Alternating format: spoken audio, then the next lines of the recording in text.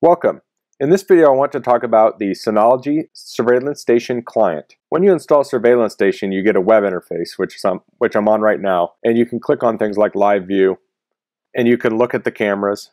You can click on recording and you can watch a video of the camera.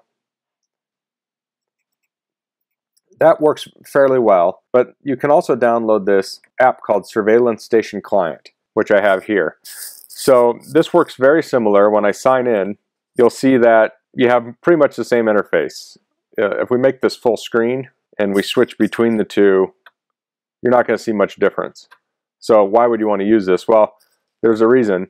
I will log out here.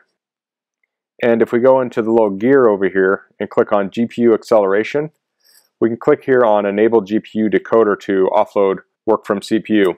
So what this will do is it will when you open up a video, it will send that through the CPU's GPU instead of having the CPU process it by itself. So uh, it'll tell you what kind of graphics you have in here, the Intel Iris Graphics 6100. And according to Synology's documentation, uh, it's preferable to use your the GPU within your CPU. So if you have an external CPU, GPU, like on a card, it's, they said it's better to use the internal. So, and this works on Mac and PC. There's a version for both. Works the same way. And they have a manual adjustment here where you can say how many channels you want.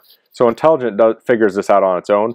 Manual, you can actually put in here the number. So if you want, say, two on the GPU, you can do that. So if you're having trouble, you can use this, and then you can change which resolutions to use it with and such. Down here it says label the video streams that are using GPU decoding on the screen. So that's very nice, especially when you're getting started out. You can tell if it's actually working. So I'll close that and then I'll sign back in here. And if we go to this live view now, you'll see it says GPU up in the corner because this is being processed with the GPU as opposed to the CPU. So if we pull this out of the way, and I'll shrink it down here if I can. I think that's all I can shrink it. Um, if we open up the recordings now, I'll open up, uh, this video is 30 seconds long. You'll see this also has GPU. And then we'll open this one here. This one says GPU. And we'll open this one here. Also says GPU. And one more. No GPU. So let's see, let's count this now.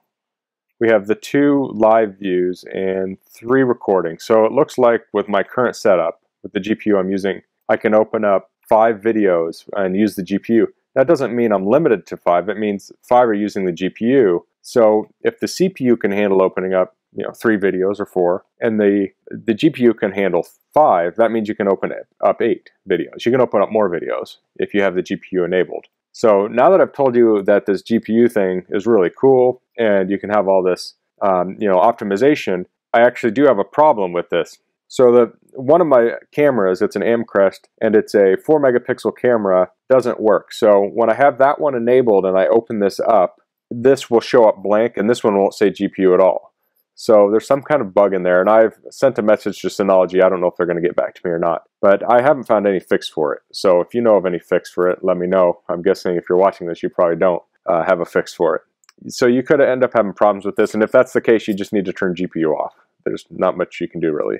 So that's just a quick overview of the surveillance station client um, and why you might want to use that. If you have any questions, please leave them in the comments. If you've liked this video, please click like. If you haven't subscribed to my channel, I would love if you could do that. And thanks for watching. Until next time, goodbye.